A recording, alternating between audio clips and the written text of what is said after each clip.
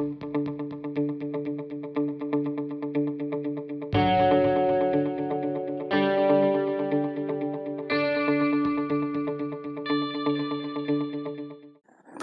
all, uh, welcome again to my session on uh, restore in place feature of uh, Warehouse and Microsoft Fabric. So before jumping in to introduce about myself, my name is Vinodh Kumar and I work as a cloud data architect at Presidio. I'm a Microsoft certified trainer and I speak at a lot of events uh, virtually and uh, in person both. And as well as I'm a blogger, I, I, I write a lot of articles uh, related to cloud big data, especially on Azure Big Data Synapse uh, recently with the Fabric. Uh, so this is my uh, blog address. Please do visit if you have time. The session in this session we'll look on the new feature called restore in place of a warehouse in Microsoft Fabric. Um, this is a, a pretty uh, new feature that has been released uh, and still in preview. Microsoft Fabric, as you would have known, it's uh, one of the most upcoming popular uh, end-to-end analytics solution uh, SaaS tool, which has an uh, a unified uh, platform pattern wherein you you can uh, using Fabric you can unite uh, data and services, and it has multiple personas within uh, for uh, data science, data engineering, data factory, Power BI, and then for data warehousing. In one of the personas is data warehousing. In data warehousing, there is a new feature in preview, which is called restore in place of a warehouse.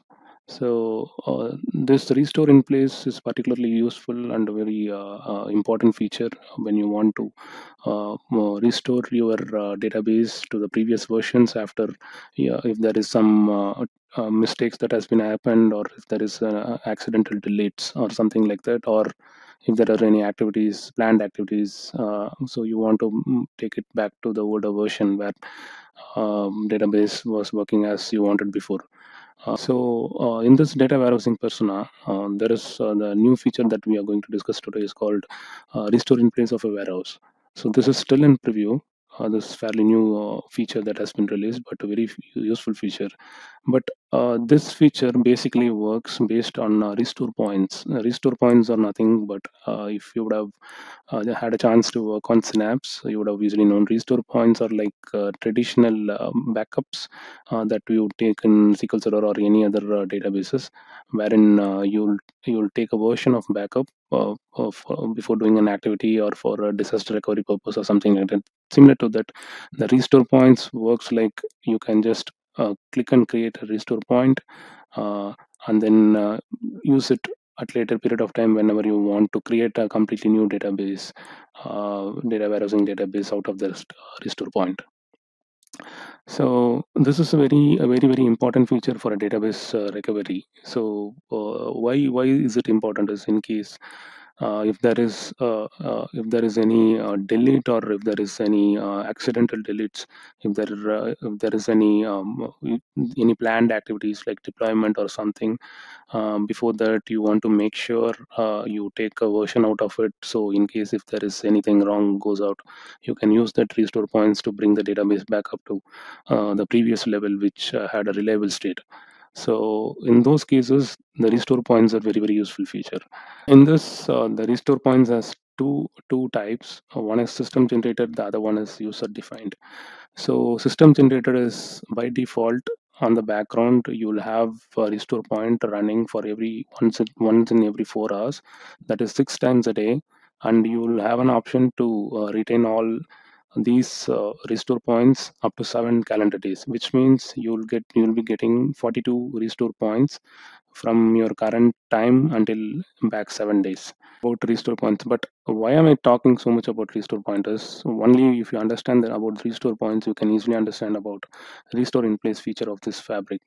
Because as, as i said you before the restore in place works basically based out of this restore point strategy.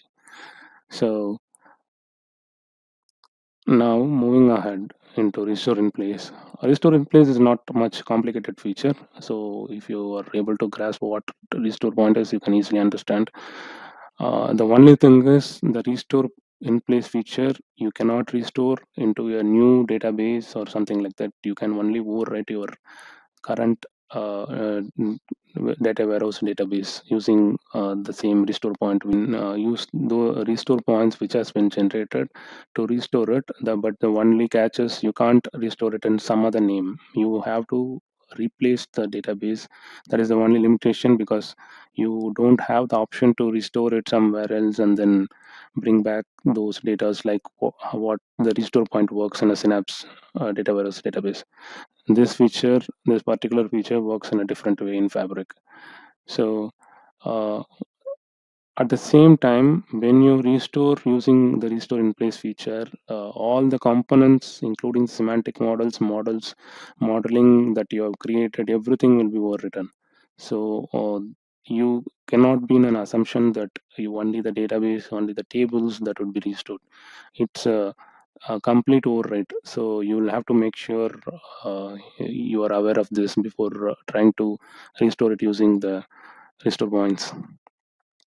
So and uh, the user should be uh, and it should be it should be an fabric admin workspace role for creating user defined restore points. And then restoration fabric admin workspace role can again uh, have the privilege to restore using those system generated or user defined uh, uh, restore points to restore the database for uh, which means overwriting the database. Coming to its limitations it has its fair share of limitations too so uh, the seven day retention period is mandatory. You can't go back beyond seven days period uh, and you cannot uh, alter it or uh, ex- uh, extend it or uh, lessen it. It's only standard seven day retention period. And then you cannot restore it in as different name different workspaces. That is not possible. And one of the biggest limitation here is you cannot use your fabric workspace to perform this restoration. Currently uh, you can only use third party uh, tools like postman and perform it via api calls. This is one of the limitation here. I hope this will be uh, there will be uh, some developments in future for this.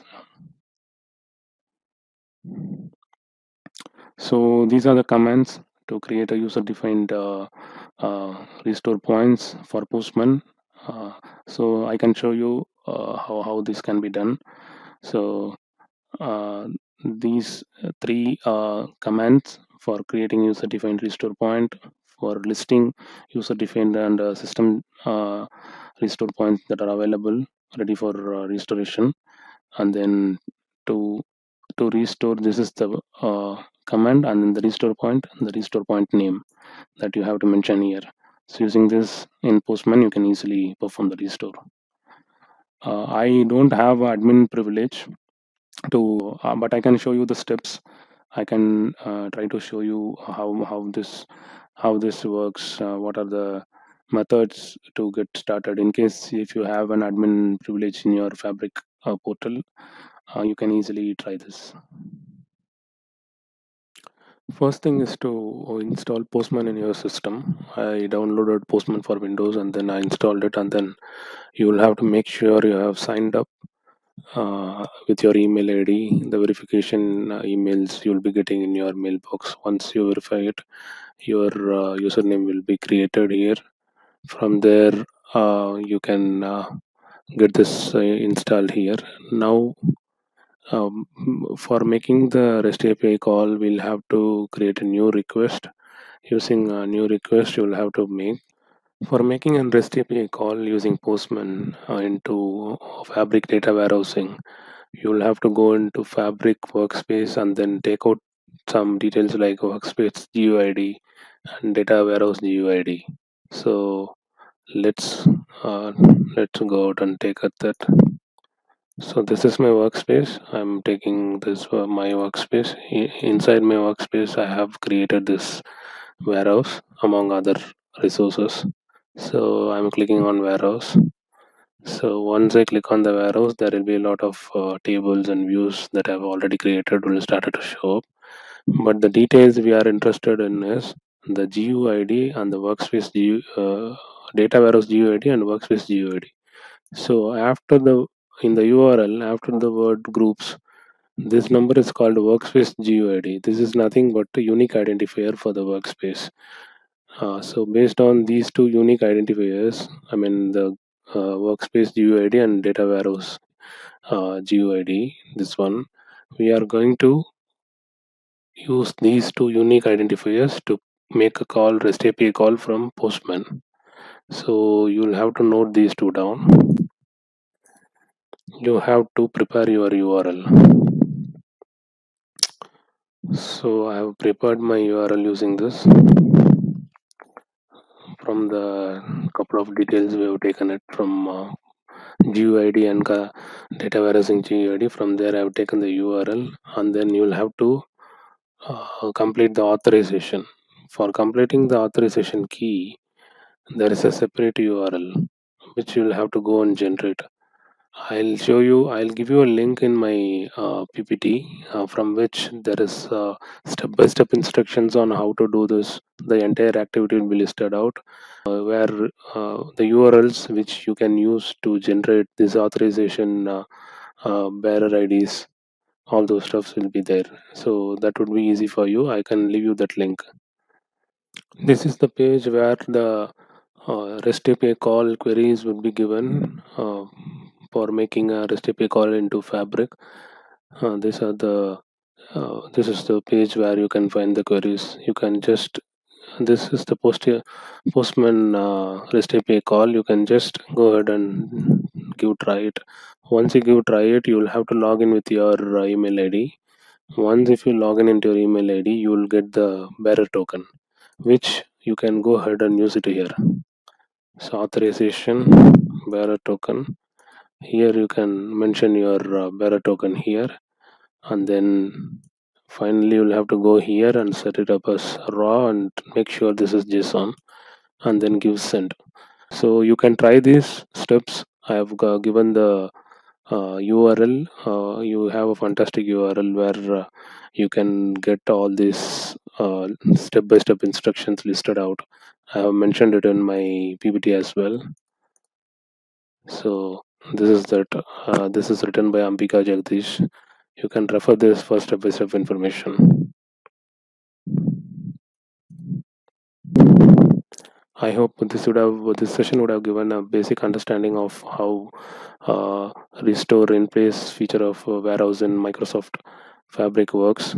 So you can go ahead and uh, test this, explore this feature, and try out. Um, thanks for uh, your time. Thanks for attending the session. Thank you.